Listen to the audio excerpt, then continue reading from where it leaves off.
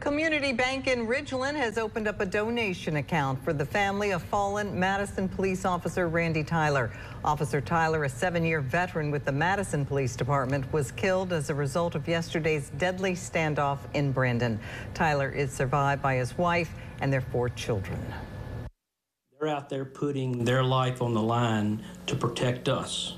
It's our way the bank's way of giving back to the community because the bank is making a contribution to this. And it's the way for the actual community to come through and give a donation to a worthy cause to help this family out in their time of need. We have uh, 54 offices across four states. They can go to any community bank office and say that they want to make a deposit into the Officer Randy Tyler Fund our tellers will know about that account and they will accept the deposit and put it in that account.